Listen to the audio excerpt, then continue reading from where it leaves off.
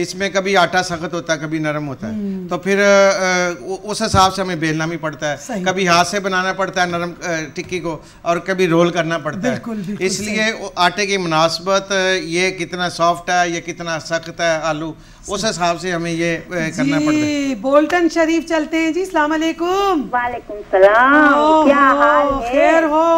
मलका तरन्नुम नूर जहाँ की। क्या बात है आज कितनी प्यारी लग रही है अच्छा। मुझे पता था काले कपड़े देख के तुम ज़रूर आती हो। मैं तो अब यही चुरा लूँगी। अच्छा ले लो।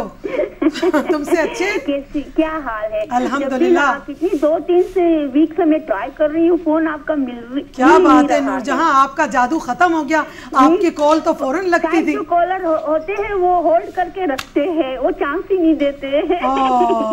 नहीं मैं शिकायत नहीं करूँगी बिल्कुल। कोई बात नहीं मैं तो आपका वेट कर रही थी मैंने कहा अल्लाह सेहत दे कहीं तबीयत भी लास्ट टाइम आपकी खराब थी जब आपने कॉल की थी तो? जी जी। अब कैसे सेहत ठीक है? जी। ये शेफ साहब से मैं पूछना चाहती हूँ कि इन्होंने आटा कौन सा इस्तेमाल किया है? मैंने मीडियम ब्राउन यूज़ किया है। वैसे अच्छा, फाइन वाइट यूज़ करें तो ज़्यादा बेहतर है। कौन सा? मीडियम ब्राउन वैसे मैं मीडियम ब्राउन यूज़ कर रहा हूँ। पराठा के लिए फाइन वाइट यूज़ करें तो ज्या- ज्या- ज़्यादा बेहतर है। अच्छा क्योंकि वो बहुत बारीक ग्राइंड हुआ होता है। वो उसमें पराठे बहुत अच्छे बनते हैं। जी। अच्छा जी। हाँ जी। तो और सुनाओ।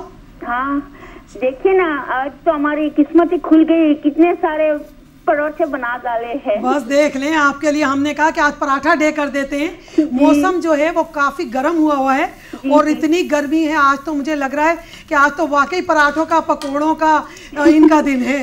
जी क्या हाल है? अल्लाह का शुक्र बहुत अच्छा प्रोग्राम जा रहा है. माशाल्लाह। You हम तो. बहुत शुक्रगुजार है डीएम वालों की और थैंक यू आपकी। Thank you ji thank you ये सब हमारे डीएम डिजिटल का कमाल है जो हम आपके लिए लेकर आते हैं डीएम किचन से प्रोग्राम लास्ट वीक तो आपने बोला था कुछ बिरयानी बना देंगे ये पता बना है क्या क्या आज बात है? नूरजहां आज मेरा पुश्तो प्रोग्राम था अच्छा। तो उसमें मैं काफ़ी बिज़ी थी उसके प्रोग्राम के अरेंजमेंट में। तो मैं सुबह आठ बजे की आई हुई हूँ स्टूडियो में। आप यकीन करें तो इसलिए बिरयानी को हमने नेक्स्ट वीक पे कर दिया। और स्पेशल हमने रिक्वेस्ट से हमने हामिद को बुलाया कि प्लीज़ मुझे संभालो। बहुत अच्छा किया और परोसे भी मिल गए हमको। Thank सारे. जो तीन चार वेराइटीज है। बहुत बढ़िया रेसिपीज़ है और मेरे किचन में जारा के किचन में कि ये जो आलू के पराठे कैसे बनाते हैं, अभी देख लिए मैंने। जी अच्छा देखें अभी तो आपको और भी रेसिपीज़ देंगे। ऐसी क्यों परेशान होती हो अच्छा नूरजहां? मुझे अचार की रेसिपी चाहिए जो नूरजहां हम अचार ही बनाएँगे किसी दिन मैं अभी रेसिपी देना सक, दे सकती हूँ मगर मैं दूँगी नहीं। हम आपको अचार डे बनाएँगे सारे अचार होंगे उसमें। इनशाला ठीक है? थैंक यू मेरी जान। थैंक यू कॉल करने का ओके थैंक यू खुदा हाफिज। खुश ये इसके बाद हम वो लच्छे वाला पराठा बनाएँगे ठीक है? अच्छा। तो अभी ये एक गोभी का पराठा बना ले। जी अच्छा। तो फिर टाइम भी शॉर्ट है। तो हाँ। इस हिसाब से हम लोग जो हाँ, डॉक्टर साहब ने बोला है तो हाँ। हम वो लच्छे वाला पराठा बनाएँगे। हाँ लच्छे वाला पराठा सिखाते हाँ, हैं और जिनकी अम्मा बनाती थी पाकिस्तान में और वो चाय के साथ खाते थे। हाँ जी। अच्छा हामिद अगर कोई मुझसे पूछे ना तो मैं अगर मैं कभी खाने का मेरा मूड हो मैं कसम से मैं बासी रोटी तलवा के खाती हूँ। अब उसका बहुत मज़ा आता है उसको पानी में गीली कर लें। मैं, कल मैं कह रही थी अच्छा कॉलर है जी सलाम जी वालेकुम सलाम जारा जी क्या हाल है? अल्लाह का शुक्र है अल्हम्दुलिल्लाह जी। कौन बात कर रहे हैं? नाम बताएँगे? जी जी बिल्कुल। मेरा नाम उजमा है मैं साउथ हेम्पटन से बात कर रही हूँ। उस्मा ठीक ठाक आपको हमारा प्रोग्राम कैसे लग रहा है? आपका प्रोग्राम बहुत ही अच्छा है बहुत मैं क्या बात करूँ क्या बात बोलूँ या ना बोलूँ आपकी तारीफ़ करूँ या ना करूँ? थैंक यू आप ना करो मुझे पता है। आप बहुत अच्छे हो। थैंक यू वेरी मच मैंने इसलिए थैंक यू करने के लिए फ़ोन किया। आपने पराठे बहुत अच्छे बनाए। उनको भी थैंक यू कह देना मेरी तरफ़ से। और मैंने मैं मैं आपका प्रोग्राम देखती नहीं लेकिन रिपोर्ट करके रखती हूँ। ज़ाहिर सी बात है अगर कब नहीं होती घर पे तो मैं रिपोर्ट वाले प्रोग्राम देख लेती हूँ। अच्छा जी। थैंक यू बच्चों के लिए बनाना पराठे फिर आज ये बाहर पड़ा पड़ा ना थोड़ा सा सॉफ्ट हो तो गया थैंक यू उस्मा आपने कॉल की जी। जी जी जी और आप बहुत बिल्कुल बहुत बहुत प्यारी लग रही है मैं क्या बात करूँ?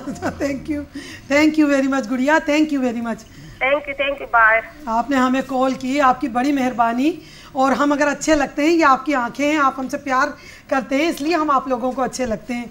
थैंक यू अच्छा जी आप सादा पराठा बना लें सादा पराठा बनाएँगे हाँ वो परत वाले। शो करेंगे। हाँ परत वाला अच्छा जी ठीक ठीक ठीक। ठीक है इसको शो करेंगे जी अच्छा।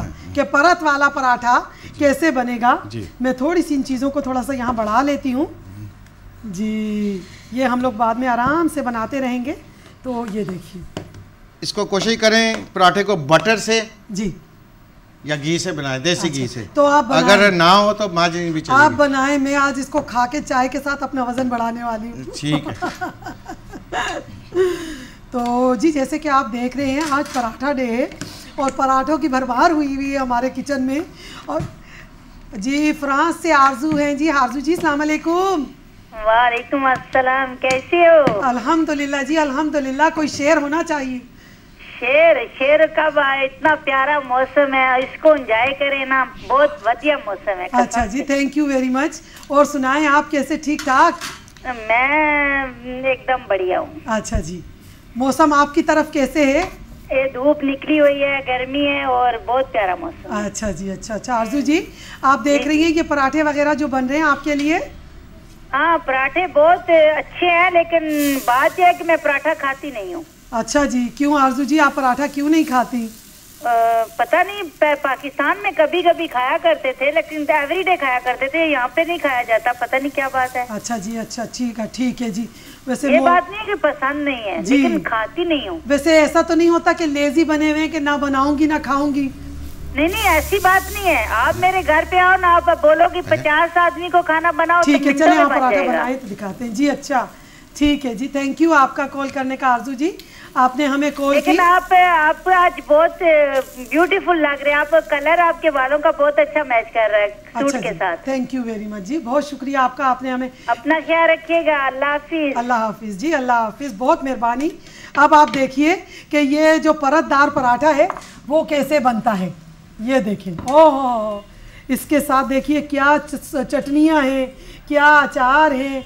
क्या बात है। क्या आप चिक्की बनाएँगे? जी जी। पेड़ा बना के जी। इसको लंबा कर लें। अच्छा ठीक है ना? ठीक है। इसको लंबा कर लें। जी। फिर इसके अंदर आपने असली घी लगाना है। असली घी लगा आहा, पेस्ट क्या बात है। असली घी के पेस्ट की। इसको पेस्ट करने के बाद आप इसको आप रोल करेंगे। अच्छा। ठीक है? ठीक। रोल करने के बाद आस्ता आस्ता इसको बड़े प्यार से रोल करें। अच्छा जी। जी जी। फिर इसको लंबा करते जाएँ। अच्छा जी। इसको ये देखें। मैं समझती हूँ आज तो अनाड़ियों की बल्ले बल्ले हो गई है भाई। हाँ, इसको जितना आप कर लेंगे बरीक अच्छा। फिर इतनी परत ज़्यादा उतने ज़्यादा पड़े। अच्छा। हम उर्दू में परत कहते हैं पर्दों को। पर्दों पर्दों का पराठा कहते हैं ना पर्दों फिर उसके बाद इसको जैसे सांप होता है ना ऐसे अभी बनाएँगे सांप पटारे से निकले। इसको आप ऐसे रोल करते जाएँगे। इसको साथ साथ टर्न करते जाए। अच्छा ताकि गोल लगे उसमें लच्छे हाँ आए। लच्छे बनते जाएँ। जी अच्छा अच्छा। क्या उर्दू का इम्तहान चल रहा है? यहाँ क्या बात है जी। इसके बाद अच्छा जी। क्या बात है हामिद। और हामिद मुझे रात को कह रहे कि ज़ारा तुम क्या बनाओगी? मैंने कहा हामिद मैं तो कुछ नहीं बनाने वाली। कह रहे नहीं ऐसा हो नहीं सकता। तुम भी पटारे से कुछ ना कुछ निकालोगी। मुझे पता है ना। ये देखें आप। अच्छा ठीक है। मैं डॉक्टर साहब के लिए कुछ बनाऊँ ना ऐसा हो नहीं सकता। माशाल्लाह माशाल्लाह। ठीक है। बहुत इसको ज़्यादा मोटा नहीं करना ज़्यादा बरीक नहीं रखना। अच्छा जी। ये देखें। अच्छा जी। ओहो क्या खूबसूरत पराठा किसी मैं कहती हूँ किसी बहुत खूबसूरत स्मार्ट सी लड़की का गोल चेहरा। ऐसा पराठा। हामिद सही लग रहा है ना? देखेंगे। इंशाल्लाह ताला बहुत प्यारा बनेगा। जी। और ये पकने के बाद इसके जो लच्छे नज़रें आने शुरू होंगे। अच्छा। अभी नहीं नज़र आएँगे अभी, अभी पकने देखते हैं, हाँ जी, हाँ जी। जैसे ये पकेगा तो फिर इसका ग्लासगो से कॉलर है उसको वेलकम कहते हैं। जी सलाम अलैकुम वालेकुम सलाम। जी कैसे ठीक ठाक हेलो। हेलो जी सलाम